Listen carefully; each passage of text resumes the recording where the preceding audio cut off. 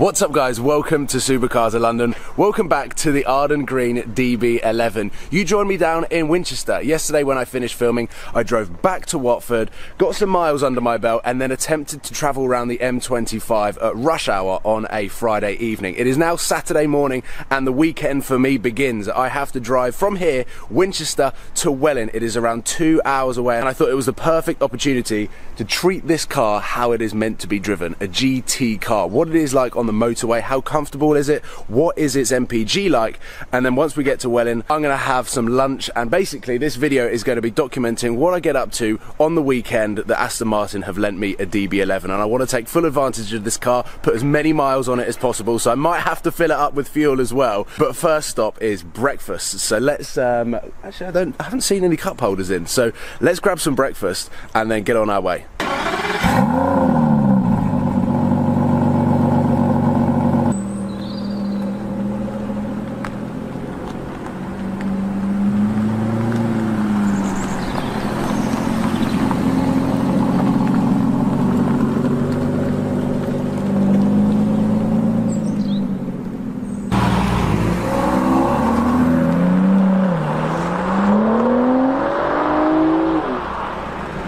Before we grab breakfast, I did just want to touch upon about the driving and how Aston Martin's new direction with this car is one that excites me so much. When I handed the keys back to the V12 Vantage S, I said that car needs a slightly quicker gearbox and better fuel economy. And this car, which we will get on to talking about once we hit the motorway, has got phenomenal fuel economy, which really gets my heart pumping, as well as the exhaust sound. Fuel economy is what makes me tick in a car. Don't ask me why, I just like playing games.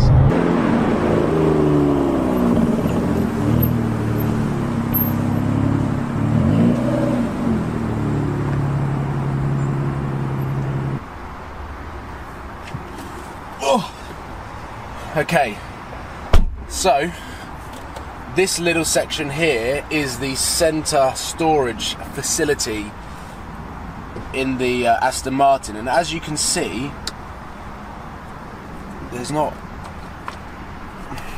Oh, hold a minute. I think I found a cup holder. I don't know whether I broke it there. Oh, okay. And then I suppose we can move that up. Oh, they're not as. Quickly grab the camera. A bit flimsy for a for a car of this caliber of luxury, but they'll do the job. We're filled up. We've got a full tank and the range is telling me 327 miles. Now I know that that is going to change the more the car gets accustomed to this fuel and my driving style. And what I'm attempting to do on the way home on the M3 and on the M25 is trying to get my MPG up as high as possible. We've got this sort of dynamic live consumption MPG reader on the right hand side of my dials here, which is really cool. And hopefully I can get it all the way up to 40. I'm on 40 MPG. So the engine is running in super efficient mode. So let's just track the range, see how we get on, and enjoy the heated seats or air conditioned seats. This has got the option for air conditioned seats, which I have not experienced in my life before. And I don't particularly want to do it today either because it is telling me that it's 8 degrees outside heated seats for the win. We have hit average speed checks of 50 miles an hour, meaning the slower the car goes. No, that doesn't actually work. The slower the car goes, the more fuel efficient it is. Anyway, I'm keeping it as efficient as possible. My range crept to 572 miles out of an Aston Martin V12. That is unheard of. It is now slowly creeping back down. We're on 567 miles. It puts my BMW M3 to shame. It puts my AMG GTS to shame. Oh, we go. 577. 577. If this goes anywhere near 600 miles, then I just I will just carry on driving. I will not stop and I will just drive on one tank 600 miles in this car because I don't think anyone has ever done that in any Aston Martin ever. I could get a world record, the longest continuous drive on one tank of fuel in an Aston Martin of all time. 577 miles, the range is telling me. 599! We are getting over 600. Let's jump to 607! 607 on the range. It is staying at 607 from uh, Aston Martin V12. Now this car, it still does have a big fuel tank. I had half a tank and I filled it all the way to the top and it cost me, I think it cost me 48 pounds. It was about 40, 45 litres. So it's definitely got over 85 litres worth of fuel. Oh, it's dropped down to 603. Where can you drive? You can drive way past Edinburgh. Way past Edinburgh. Good morning, it is Sunday morning, and as most Aston Martin enthusiasts would probably agree with me, that Sunday morning is a perfect opportunity to take your beloved pride and joy for a drive. And funnily enough, I've driven 10 minutes from my house and I've already seen two Aston Martins, a very stunning 2016, all blacked out Aston Martin Vantage and a DB9. And today I am looking for some country roads to put this car to a more performance-based test. I've done the GT, this is a phenomenal GT car. I have now put around 300 miles on this car and over the next sort of four to five minutes of the video I'm going to be going over how I feel or how this car makes me feel putting the power down or trying to put the power down and going for an absolute blast. So we've got an amazing few miles ahead of us. So uh, let's just strap the GoPro up, try and get as many angles as possible, try and capture the sound, the emotion, and also the experience that I'm about to face in the V12 Beast. So welcome, probably to the first time that I've been able to get a wide angle lens on my GoPro of the luxurious and impeccably specced Aston Martin DB11 interior. I've currently got the car in Sport Plus because I can't physically take it out of this mode. The car sings to me so much. Even at low revs on the rumbles, the V12 still shines through. And I've now driven this car for around 300 to 400 miles. I've done the GT drive. I've driven this car around Watford, which I suppose is, is quite a big town. And now I'm on the country road. So it is my turn to test out this car's performance. But in general just work out how fast this car is and how good this is as a performance car. Aston Martin have already stated this is their Grand Tourer, which is why their most comfortable setting on suspension and engine mode is called GT mode. But I'm here to test out the Sport Plus on the suspension mode just making sure that I'm in all of the modes. So I've now firmed up the suspension and I've got the engine mode fully in Sport Plus.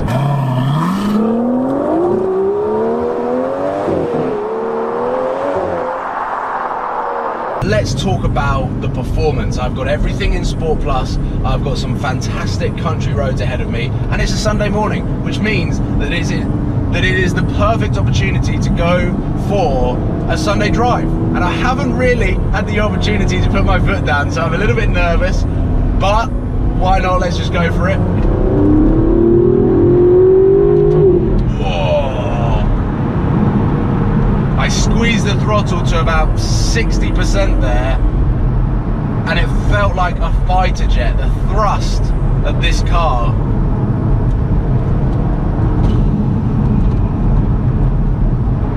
this car uh, I don't think this is slow. I haven't put my foot flat to the floor yet. But 40, 50% is absolutely fine. Wait for the straight first. Oh, a little wiggle there from the traction control. We are on a dry road. It is 8 degrees Celsius outside, but it is fully dry outside, so you'd like to think that this car would get adequate grip, but with 600 brake horsepower, we are always going to be fighting for traction through the rear wheels. But I feel that everyone else is up for a Sunday drive this morning. We've got a Vauxhall Zafira, we've got a Renault Megane there. Oh, everyone's turning off. This is a good sign. Let's bring it back down the rev range. I've, got it in manual mode. I can just press drive here on the button and it goes back into automatic, but using the pedals, very easy to take over. And here we go. The gear shifts are incredibly smooth. See what I mean by wanting to rev? Ah. Whoa! Whoa! That was a wiggle at the top end of 6,000 RPM, around 6,500 RPM. It wiggled. Oh, you can still feel the gear shift shunt into the next gear. It's not as smooth as uh, some of the other cars with double clutch, but the steering wheel, it is light. It's a lot lighter than I was expecting. It's a lot lighter than the uh, than the V12 of uh, Aston Martin prior to this. But that does not take away from the fact that it is very direct. You get the feeling through the steering as well, making it very easy to pilot this car around these country roads. And I have to say, the soundtrack is just to die for. Going over a bit of a crest here, around the corner, squeeze on the. It just it feels like a fighter jet when you're squeezing the throttle. The best way to describe it, when you're just about to take off on a runway on any sort of commercial airline and you feel the pilot push the thrust to 100%, you feel the engines whirring up and powering up to their full maximum capacity, but you don't get the initial power that you expected. And all of a sudden, it bangs in, you are thrown to the back of the seat. That is the closest thing that I can describe to this car when you plant your foot down on the floor. You get the initial rumble from the V12, which is fantastic from a twin turbo. I have to give it to Aston Martin it sounds incredible for a twin turbo. That was the one thing that I was worried about when I heard that Aston Martin were going to be doing a twin turbo engine. Ferrari did it, and personally, I know they've got the performance out of it. It does not sound the same. The California T sounds absolutely awful.